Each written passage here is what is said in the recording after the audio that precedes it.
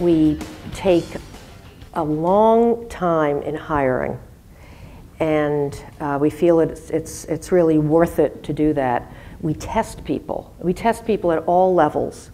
Uh, sometimes people come in and we're not sure exactly uh, what department they're best suited for.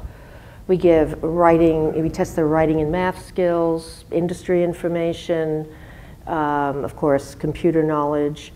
We will give people homework, send them out, and have them come back and show us their stuff.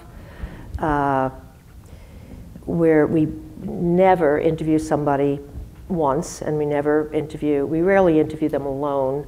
Uh, we might do a one-on-one interview, but we will put them through several, several other interviews as well.